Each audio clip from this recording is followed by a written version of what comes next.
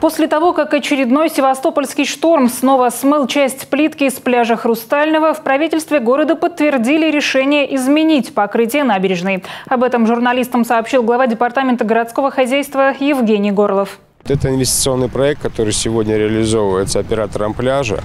Он, в свою очередь, э, и по поручению губернатора сегодня планирует э, изменить э, некий конструктив данного плиточного покрытия. Будет применен гранит. Сейчас осуществляется закупка. Глава горхоза напомнил, что контракт с оператором пляжа «Хрустальный» заключен на 10 лет. В течение этого времени все расходы по содержанию общественной зоны, в том числе по замене покрытия, ложатся на плечи оператора. По словам Евгения Горлова, гранитом выложат не всю территорию пляжа, а лишь самые хрупкие участки набережной.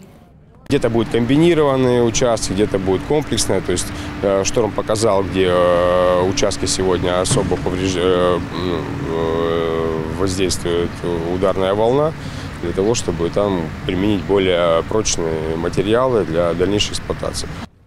На данный момент на «Хрустальном» идет восстановление смытой плитки. По словам Евгения Горлова, на закупку гранита оператору потребуется некоторое время. Как сообщил чиновник, пока ведут укладку нового покрытия, пляж закрыт не будет.